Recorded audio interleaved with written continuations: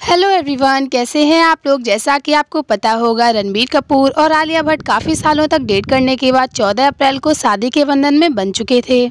दोनों की ही जोड़ी को फैंस बहुत ज़्यादा पसंद करते हैं और अब आलिया भट्ट ने अपने फैंस के बीच एक ऐसी गुड न्यूज़ शेयर की है, जिससे उनके फैंस बहुत ही ज़्यादा खुश हुए। आलिया ने अपने इंस्टाग्राम पर एक फ़ोटो शेयर करते हुए लिखा our baby coming soon Alia pregnant हैं और जल्दी उनके घर में आने वाला है एक छोटा मेहमान। आगे चल के मैं आपको फ़ोटोज़ और वीडियोस दिखाने वाली हूँ। अगर आपको वीडियो पसंद आए तो वीडियो को लाइक और मेरे चैनल को सब्सक्राइब करना बिल्कुल ना भूलें।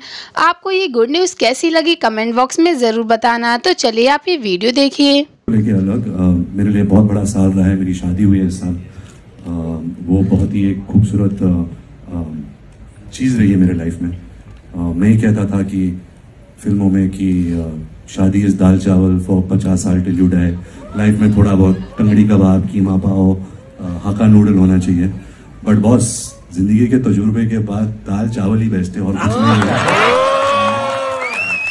है मेरे लाइफ में, जो आलिया है मेरी लाइफ में, वो दाल चावल में तड़का है, अचार है, कांदा है, प्याज है, सब कुछ है। So I could have asked for better partner